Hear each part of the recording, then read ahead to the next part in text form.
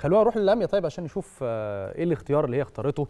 وحاسة إن هي فخورة بيه صباح الخير عليك يا لميا صباح الخير. عليك شاذلي. صباح الخير عليكي أخبار صباح الخير على إيه؟ كل مشاهدينا في كل مكان. اختياراتي أنا اخترت اختيارات كتيرة قوي. بس من الأول خالص أنا اخترت إن أنا أركز في التعليم وفي الشغل بتاعي.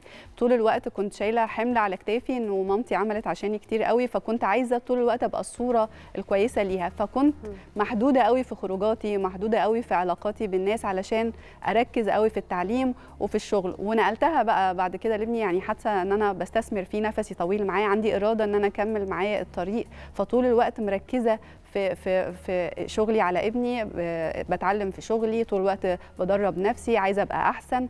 طول الوقت ده تركيزي بس. انت اللي بتعمليه مع ابنك بجد واللي بتعمليه في شغلك يا لميا ملهم لينا كلنا فعلا.